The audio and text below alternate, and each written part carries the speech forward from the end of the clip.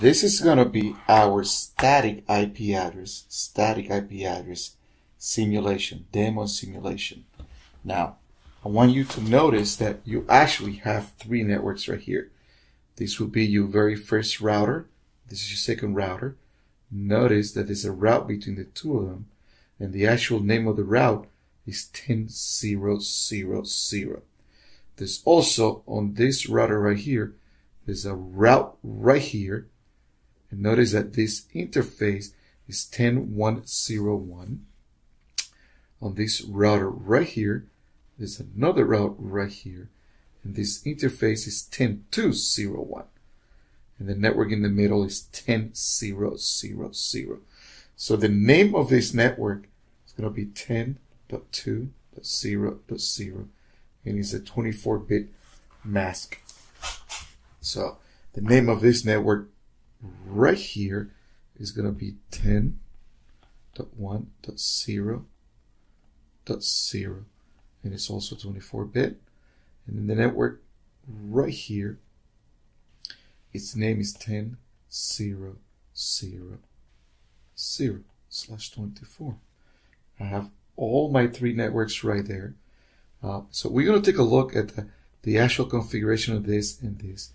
So you can see that they actually belong into the, this network. This guy belongs to this network.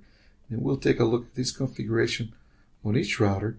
Uh, and you'll see that I actually identify that, that, that, and that right there. We will then ping this guy to ensure that we do have good connectivity there. And then from here, we're going to ping this guy to ensure that we have good connectivity there. Then we're going to attempt to ping from here all the way up to that interface and see what happens. That's going to be our first set of tests. Okay, so let's take a look at our first computer right here and take a look at the actual IP configuration. Notice 10102. It's a member of 10100.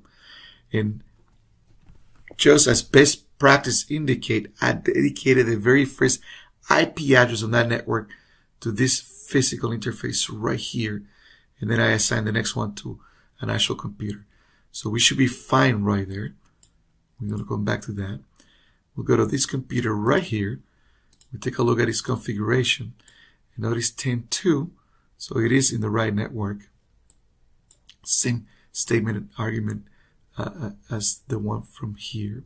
We're going to take a look at each router. Now, this router have two interfaces, one in the 10.0.0 and one in the 10.1.0.1. I am in router 0. I'm going to do uh, show running config to take a look at my full configuration. And this fast Ethernet interface, notice is 10.0.0.1, which is represented right here by dot one, 10.0.0 dot one, and say mask as a network name. So this is the interface. This interface is this one that it is talking about. Now in 01, which happens to be this network right here, it is 10.1.0.1. So that is fine so far. We're going to come to this router right here. Show running config. And we're going to take a look at the actual configuration interfaces. And again, the interface 00 happens to be 10.0.0.2, meaning it belongs to this network right here. This one is being identified as dot one. This one is being identified as dot two, right there. And then the interface right here belongs to this network, and it happens to be 10.2.0.1. You can see it right here. Very good. Now the next step that we want to do is we actually want to be able, we want to check to see if we can ping from here to this interface right here to ensure that we do have good connectivity right there. And then we're going to do the same thing right here. Very good. So let's try to do that. Let's go to the first computer right here. And we actually going to simulate going into its command prompt. And then we're going to do ping. Uh, and it's going to be 10 1, oh, sorry, 10, 1, 0, 1. And there you go. I can reach that. So that, what it's telling me right here, what this is telling me is that actually from here up to here I have good connectivity. Let's try the other side. Let's see what happens on the other side. I'm going to go to this side right here. I'm going to simulate the command prompt of the computer. And I'm going to try to ping from here to that interface right there. Very good. So I'm going to do ping 10.2.0.1 and look at that. We actually have good connectivity.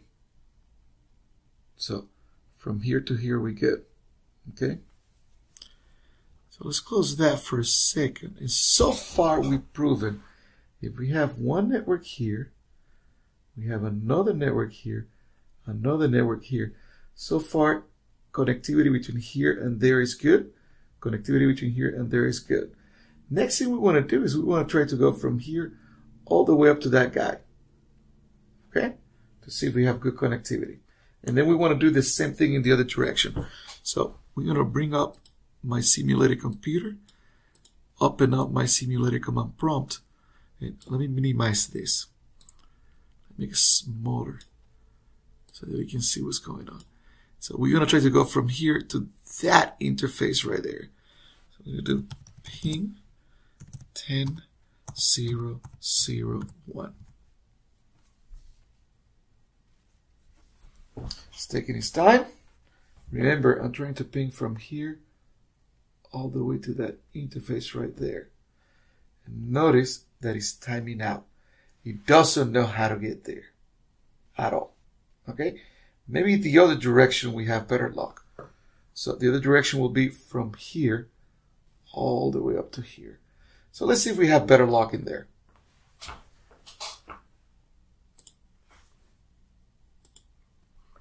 I'm going to simulate my command prompt. Let's put that right here so you can see it. Ping 10 0 0 2.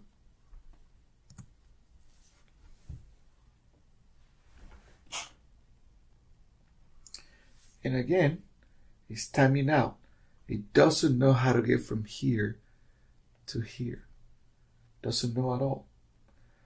Now, let's take a look at what's going on. If we go to the router and we take a look at its configuration, notice that nowhere in the router I have, in fact, I configure right here the interfaces, but right under it, there's no routing table. Neither one of the routers have a routing table that helps me decide how to get to this network and how to get to that network. So this router needs to learn how to get to that network and he gets to that network by through this port right here. This router needs to know how to get to that network and he gets to that network through that here. I have two ways to learn that. I can do it manual or I can do it dynamically. I'm going to, the first discussion we're going to have is manually. So we're going to go back to this router and configure it manually and run the same test again. Very good. I went ahead and, uh, and configure the parameters for you guys. These are the parameters right here, as you can see them. Since this is not a class on uh, configuration, it's just a tutorial. I didn't want you guys to, to go through the whole process and, and take a lot of time. But this dialog window you see here belongs to that router. This dialog window here belongs to that router. And right here is the syntax that we talked about.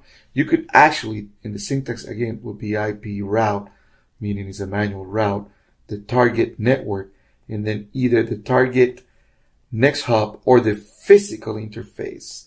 The physical interface uh, physical interface you're going to send it. So if you read this, I am saying if I happen to be here and I want to target that network, send the traffic out of this physical interface. That's exactly what it says there. And then in here, if I want to target that network, send it out of this physical interface. That's exactly what I was saying. So now I have the IP table. Have that routing table. And remember, we talked about that. The reason we had connectivity to here, but we could never go either to that router or to here was basically because this router, or this one for that matter, did not have the IP route tables, and we just built that manually. We're going to test this now.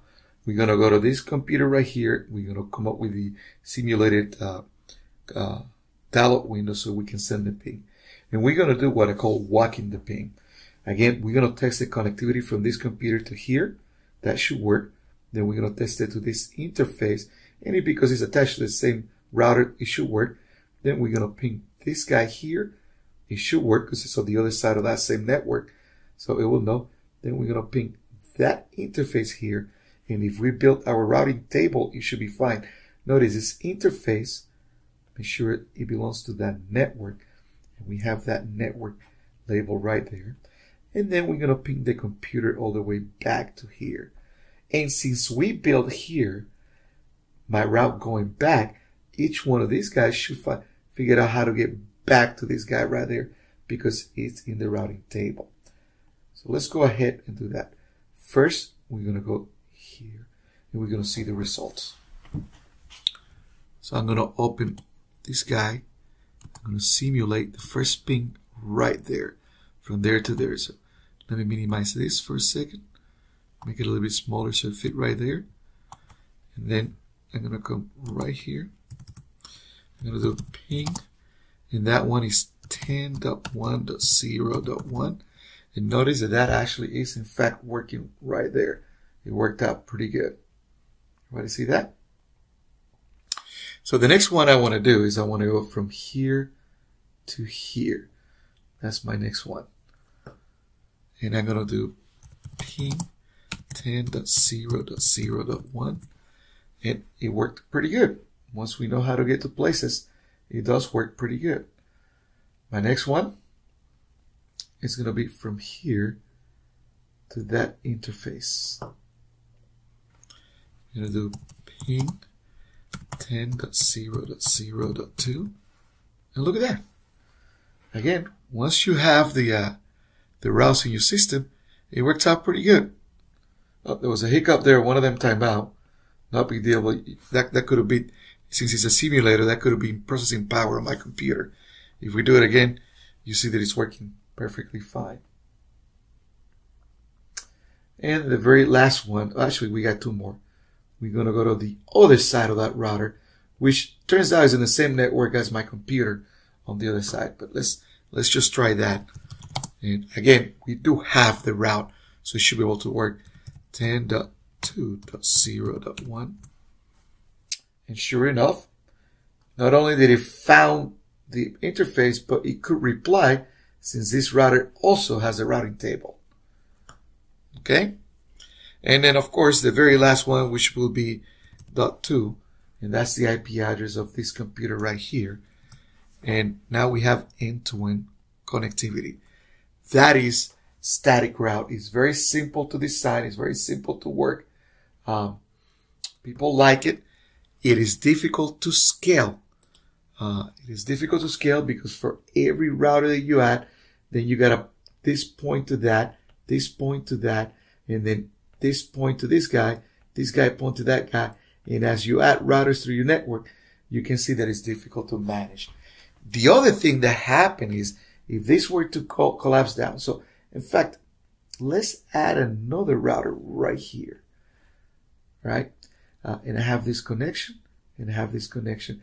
And I actually built a route there, a route here, a route there, a route here. I could actually, if this were to fail, there's no reason for this router to keep trying to send traffic that belongs to this network right now. It goes that way. He never know that that route failed Of course, clearly you can see there that if this route failed, why not send it this way? Well, it doesn't trigger a dynamic update.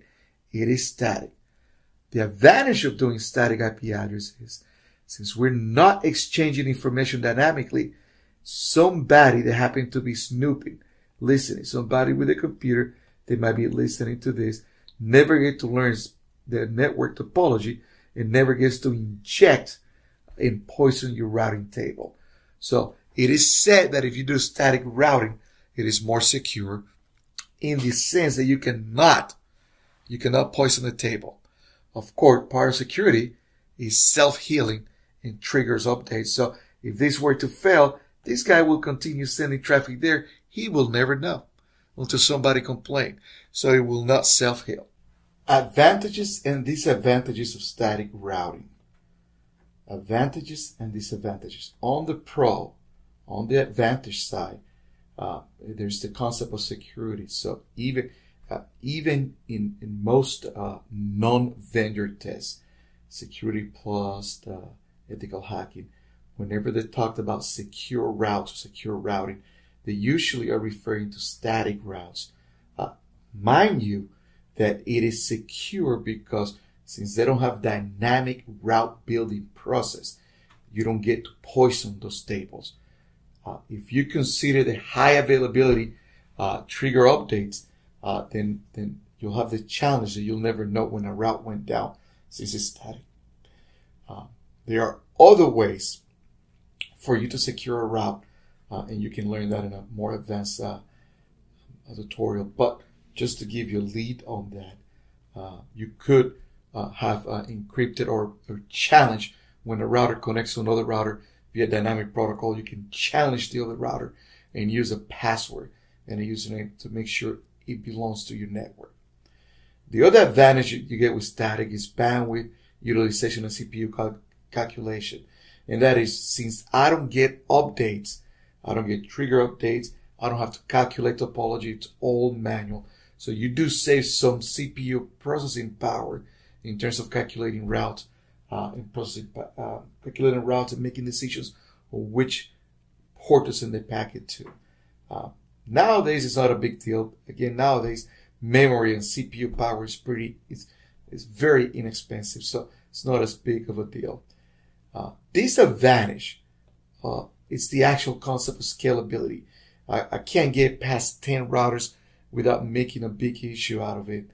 Uh, and also, I don't get trigger updates. Trigger updates are those updates when a, a route, a network, two routers down the food chain happens to change. I don't know anything about it, and I keep sending packet in that direction.